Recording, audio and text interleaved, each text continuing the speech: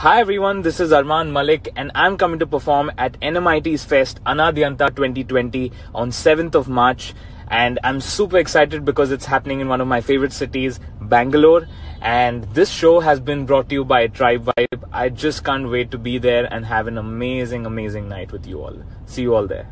What's up Bangalore? I am finally making my way to the venue. I'm going to be performing very soon and I can't wait to see you guys out there. What's up, guys? Finally in Bengaluru, and I'm performing here tonight at NMIT College, and I can't wait to see you guys there.